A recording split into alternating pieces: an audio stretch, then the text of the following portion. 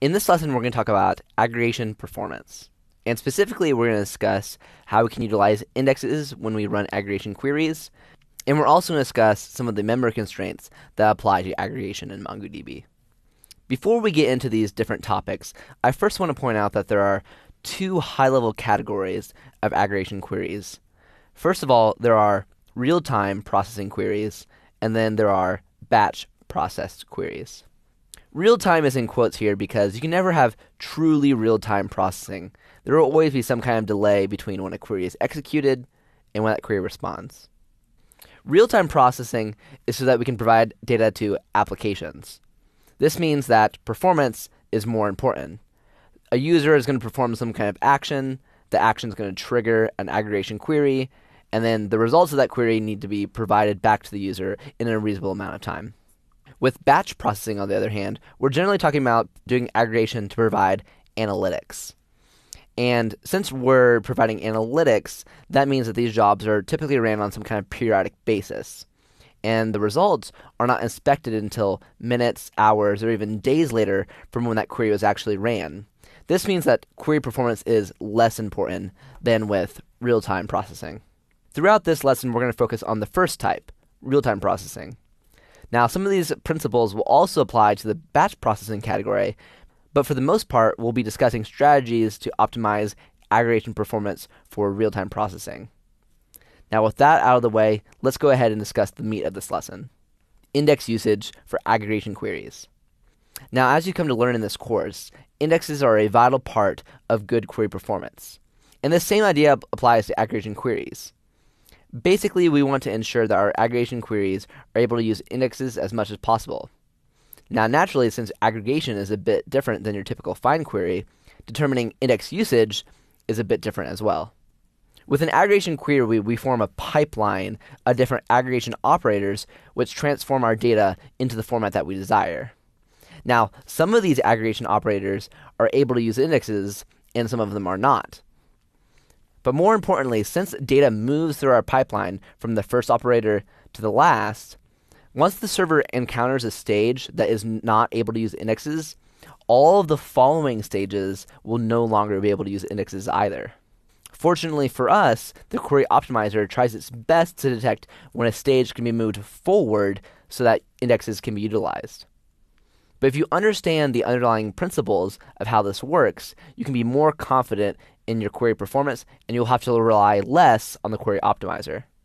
In order for us to determine how aggregation queries are ex- executed and whether or not indexes are being utilized, we can pass the explain true document as an option to the aggregation method. This will produce an explain output similar to what we are used to seeing with find. Now, for the rest of these examples, we're going to be dealing with this hypothetical orders collection, and we're going to go ahead and assume that we have an index on customer ID. Unsurprisingly, the dollar sign match operator is able to utilize indexes. This is especially true if it's at the beginning of a pipeline. You'll see a natural theme here that we want to see operators that use indexes at the front of our pipelines. Similarly, we're also going to want to put sort stages as close to the front as possible. We saw with find queries how serious our performance can be degraded when sorting isn't able to use an index. For this reason, we want to make sure that our sort stages come before any kind of transformations so we can make sure that we utilize indexes for sorting.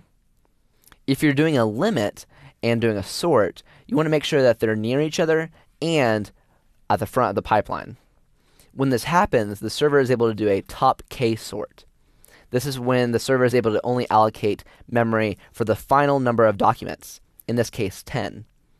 This can happen even without indexes. This is one of the most highly performant non index situations that you can be in. Optimizations like this are performed by the query optimizer whenever possible, but if there is a chance that this optimization can change the output of results, then the query engine will not perform this kind of optimization. That's why understanding these underlying principles is important. Now, those are the basic aggregation optimizations that you can do. Now, let's discuss some of the memory constraints that you should be aware of when doing aggregation. First of all, your results are all subject to the 16 megabyte document limit that exists in MongoDB.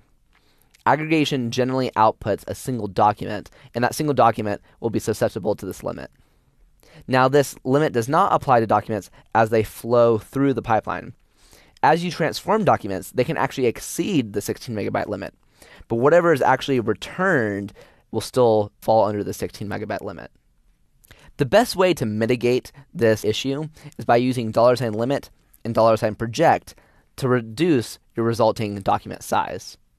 Another limitation that you're going to want to be aware of is that for each stage in our pipeline, there's a 100 megabyte limit of RAM usage.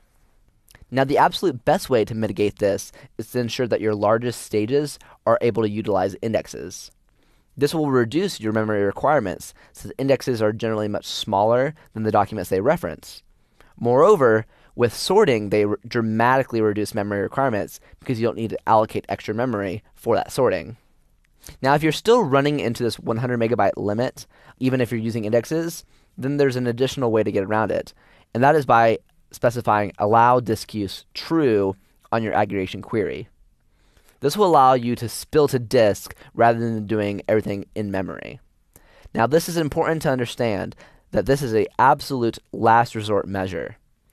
Hard drives are thousands of times slower to access than memory, so by spilling to disk, you're going to see serious performance degradation.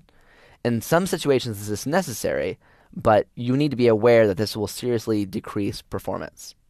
Since allow disk use true will seriously impact performance, you'll see this more often on the batch processing kind of jobs rather than real time processing.